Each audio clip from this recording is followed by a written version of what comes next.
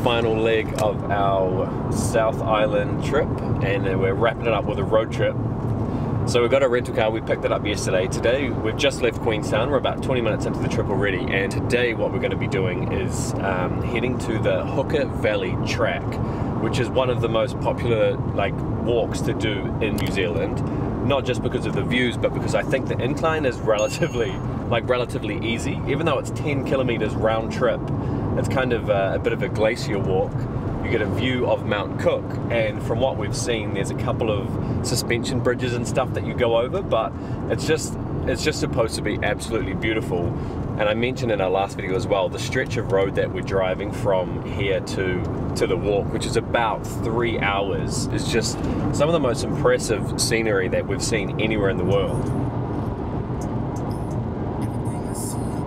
So we've been driving for about two or three hours now and it was so beautiful driving through Lindis Pass. We pulled over at one point at the summit and you could just see like all the way down the valley with this cloud coming in. Yeah, it was rolling cloud. Yeah, really. so beautiful. Such a nice drive. But we're in Twizel now and we've just stopped at a place called Hydro Cafe for some brunch. I got some fruit toast with some honey and butter. Dane got a bacon and egg pie with some tomato sauce and we just got a couple of flat whites as well. We're probably just going to stop here for a little bit and then get on the road again to get to Hooker Valley. I couldn't help myself though. I haven't seen, I don't know if it's a Kiwi dish or not, but bacon and egg pie. Is it Kiwi? Yeah. I just feel like I haven't seen it anywhere else in the world. And when I went inside, it was like all I knew, I, knew, I needed some sustenance before we basically got on the road. Well, we got about, it was about 40 minutes more driving before we do like a three or four hour hike. So I was like, I need something hearty. And then I saw this in the cabinet and I was like, Kiwi, we're gonna try it. Mm. Just like I remember. That's actually a chutney. I thought that would be some Wattie's tomato sauce, tomato sauce. but it's actually not. It's a chutney. But it, like it literally is just chunky egg, bacon, some butter, and some cheese and everything, just wrapped into a beautiful, crispy parcel. I think I might need a hat for our uh, our little hike we're about to do. I'm thinking this is the way to go. I'm thinking I'm not going to be seen with you. Really? I think this is a winner because it solves the problem at the front. You get the face coverage, and then you got the mullet at the back, which protects the neck, which is the real problem area. You know, this is the kind of place that you really need to make sure that you pay attention to. Otherwise, it sneaks up on you. You get red, get the peeling. It's not the way you want to go. Seventeen dollars ninety. Should we get it? Hmm. I think it looks mint. Maybe just flatten this out. We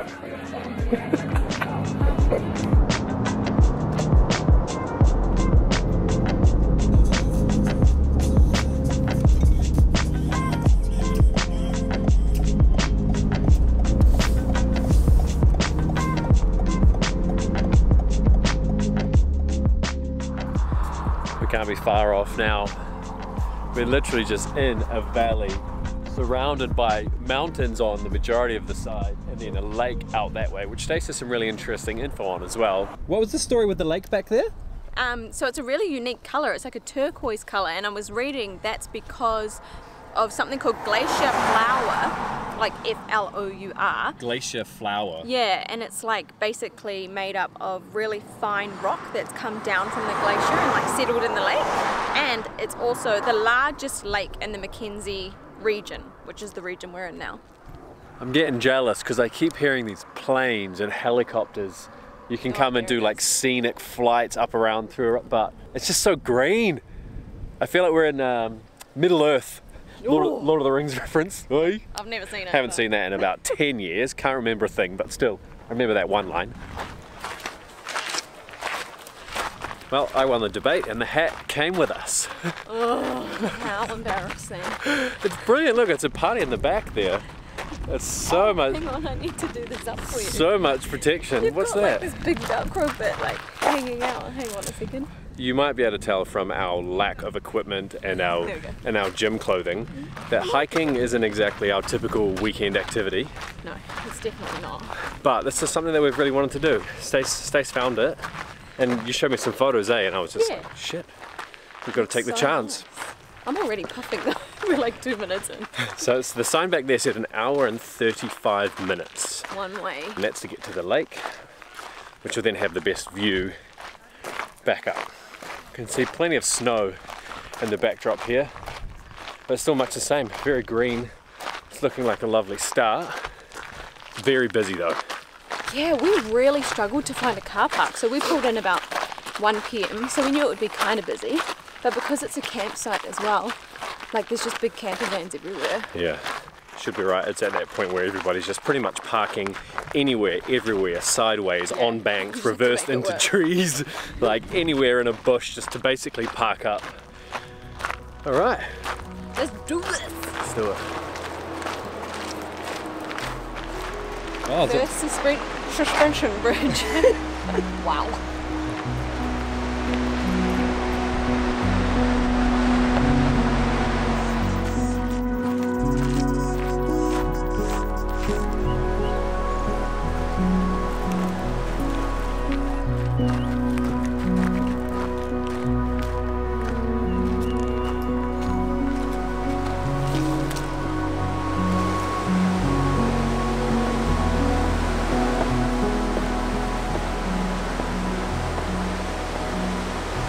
First bridge.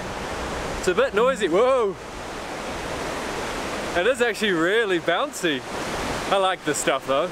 I don't know if everybody else would be quite quite as comfortable with it.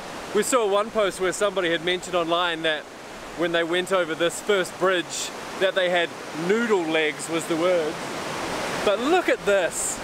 Let's say it again, I'm just so proud that this is New Zealand. Wow. So cool. It is a bit nerve wracking being in the middle above raging rapids. Rapids, yeah. And the, the, Stage four, yeah.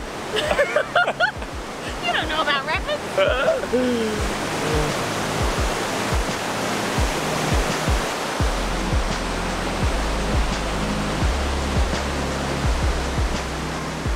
We're at the point now where we can see Mount Cook just bing, popped up around a corner once we came around. So Mount Cook is actually New Zealand's tallest mountain. It lies in the Southern Alps and I think I read somewhere that as of 2014 the height of it was like over 3,700 meters. So It's getting up there.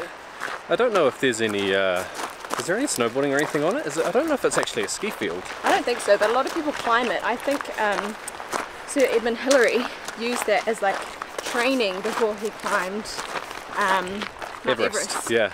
We actually saw on this mountain back here, we actually heard something. We were like, oh, people in helicopters, they're so lucky. And then, 'cause it's quite busy, you can see the people were constantly walking around. Um, we thought, well, how helicopters, they're so lucky up there kind of thing. Maybe we should have looked at doing something like that. And then we realized it wasn't a helicopter, it was an avalanche. So I kind of filmed a little bit too late, but I could see it was yeah I spotted some like smokiness and it, it was uh, it wasn't a waterfall which is what it looked like it was yeah some snow coming down but looking at Mount Cook here man there's like three or four main Shelves. patches in particular shelves did you say Yeah, mate she uh, I think the technical term is avalanche shells. yeah a couple of Avo shells just ready to pop You can tell that we're not hikers, eh? we made it. Oh, finally. There's ice. There's like little mini icebergs in the lake. Oh, This is brilliant. wow. Oh, there's actually quite a few down that end as well. Oh, yeah.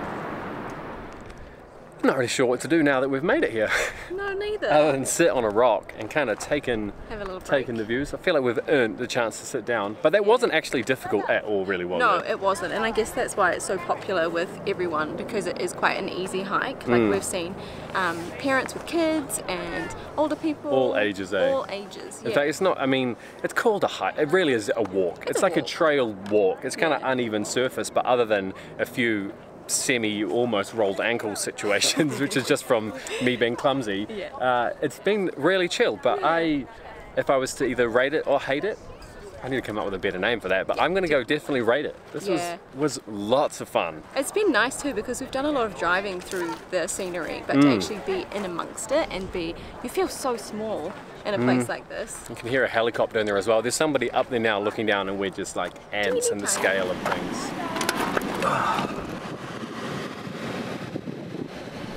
We powered through the last half of that that the return leg. I think we did it in under an hour. Yeah, we did. Smash through it, and then it's kind of been an hour or so drive to now we're at Lake Tekapo.